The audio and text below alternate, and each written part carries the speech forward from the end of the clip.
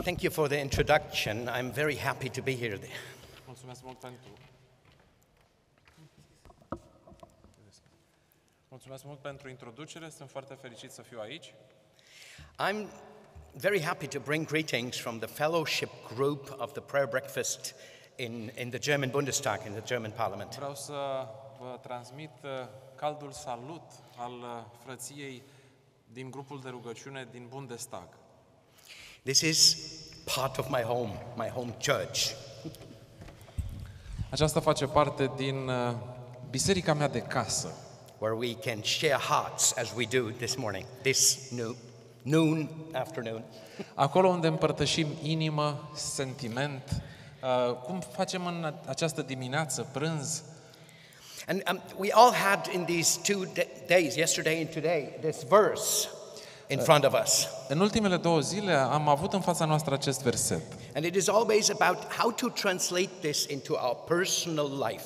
Iar ideea este cum traducem lucrurile acestea în viețile noastre personale.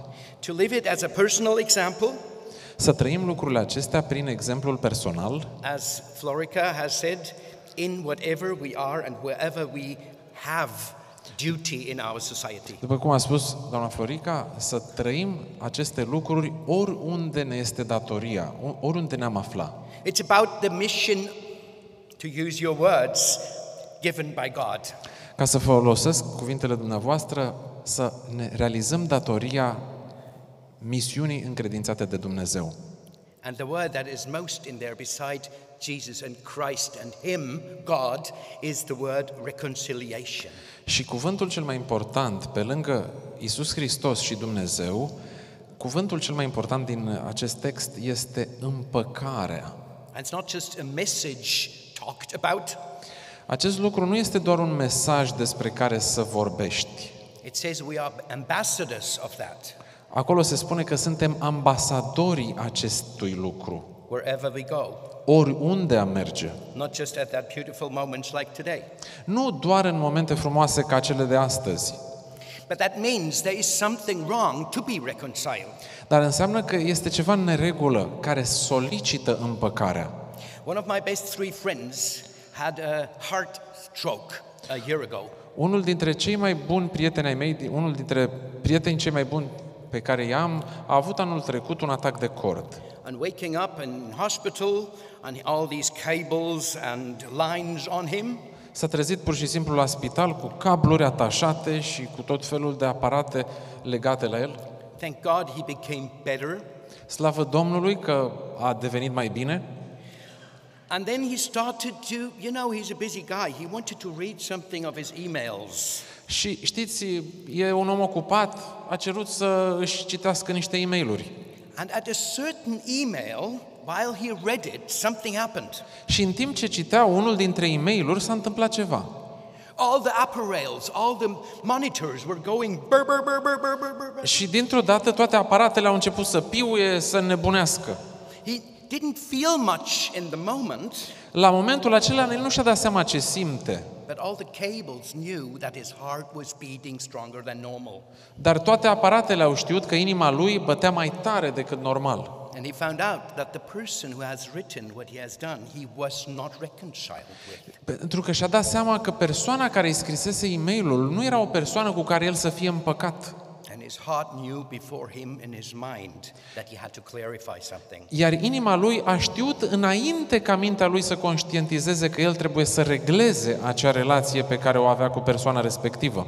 Matthew 5 tells us, Matei, capitolul 5, ne spune Therefore, De if you aceea- are offering your gift at the altar, Dacă îți aduci darul la altar, so doing good for God, adică faci o faptă bună pentru Dumnezeu and there you remember that your brother or sister has something against you, și îți aduci aminte că fratele sau sora ta are ceva împotriva ta, leave your gift there in front of the altar. lasă-ți darul acolo în fața altarului. First, go and be reconciled to them, Mai întâi, du-te și împacă-te and then come and offer your gift. și apoi vino să-ți aduci darul. So, before anything serving God, Așadar, înainte de orice slujire a lui Dumnezeu, have peace. întâi împacă-te, be reconciled, fă pace, even with the ones that have something against you. chiar și cu cei care au ceva împotriva ta. The mission given by God is regain peace. Misiunea încredințată de Dumnezeu este aceea de a redobândi pacea. To translate this, the gospel, into our world, Pentru a traduce acest, aceste idei și această evanghelie în lumea noastră, first, personally, întâi personal, I- I'd like to encourage us aș vrea să vă încurajez, să ne încurajăm toți, to feel our pulse again să ne luăm pulsul din nou and to be reconciled and be honest where we need to do something first to reconcile before doing something more for God. și, a, și apoi să fim onești, ca întâi, înainte de a face ceva pentru Dumnezeu, să ne împăcăm cu semenii noștri. And then come and deliberately offer what you have. Și apoi, în mod deliberat, să venim înaintea lui Dumnezeu să-i dăruim ceea ce vrem să-i oferim. Give Jesus the possibility to reconcile the world. Dați Domnului Isus șansa să se poată împăca cu lumea, să poată realiza împăcarea.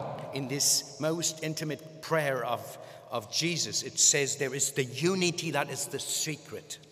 În cea mai intimă rugăciune a Domnului Isus este spus că acolo este taina unității.